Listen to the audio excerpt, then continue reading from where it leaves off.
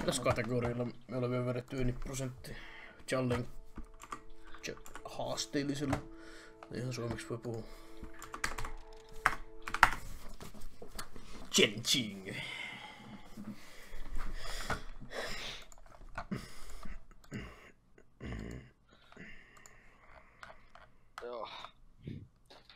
Tässä vois yrittää.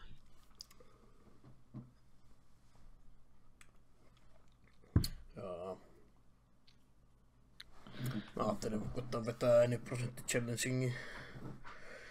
Sitten pitäisi vetää kiltikko roukki vieresellä.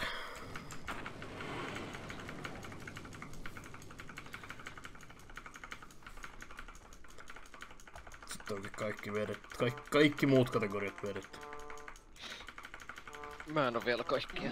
Mä vedin, mä vedin 14 sekuntiin tota challengingin kiltikko roukki. Ei kun die to the 然后